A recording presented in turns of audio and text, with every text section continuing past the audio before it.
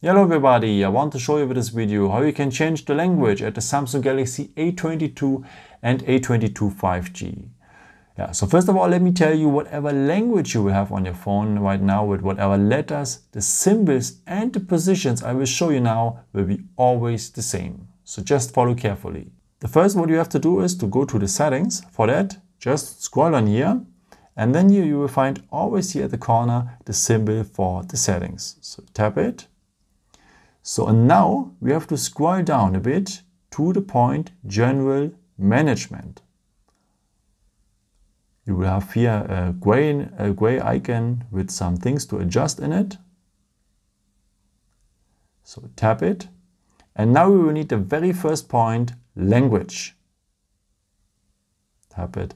So, and may you have a list here already, like in my case, and your languages may be also part of that list. In case your language is part of that list, very nice.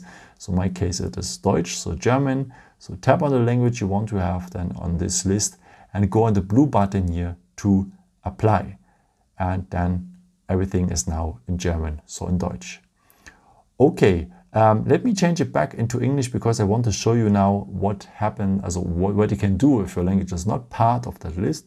So we switch it to English now here, from the blue button.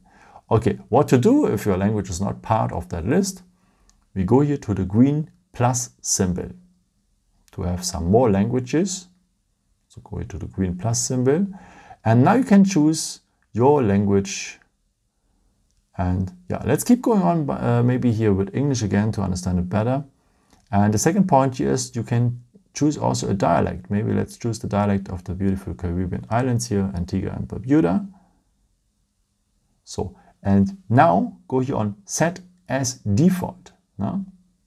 And then the language, uh, English with the dialect of Antigua and Barbuda is now here on our phone. Okay, that's it. I hope I could help you with this video and answer a question. And uh, yeah, maybe if you want, you can leave me a nice comment or give me some thumb up. That would be very helpful for my videos. Uh, thank you so, so much for. And yeah, I've created also some other videos if you're interested in or may just subscribe me. It would be really a pleasure to see you again. And yeah, maybe until next time. Ciao.